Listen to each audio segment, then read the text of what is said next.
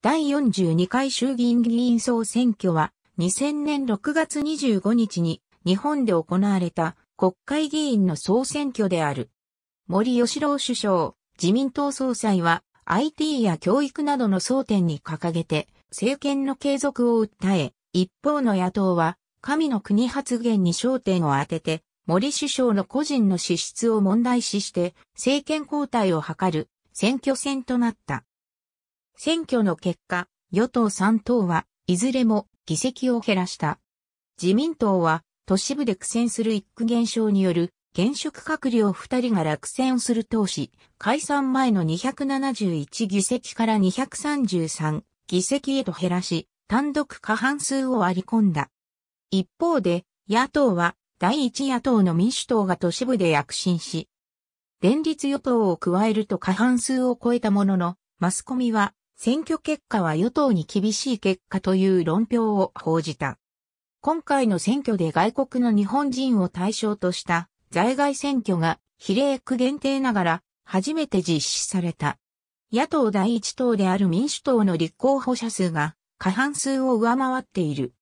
自民党民主党公明党自由党、社民党保守党諸派無所属補欠選挙自民党、民主党公明党そこで自民党からは、綿貫民助を、民主党から石井はじめをそれぞれ政副議長に充てる方針を検討していた。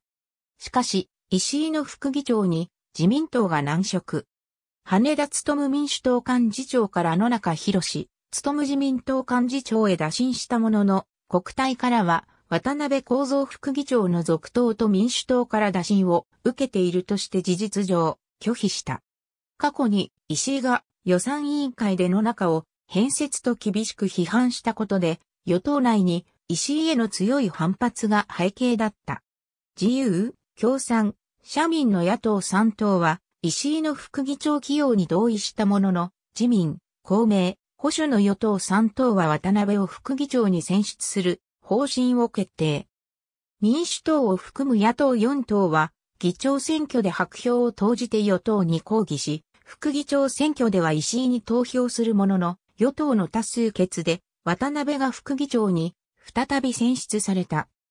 1976年に議長は与党会派、副議長を野党第一会派から選出する慣例が成立して以来、異例の事態となった。ありがとうございます。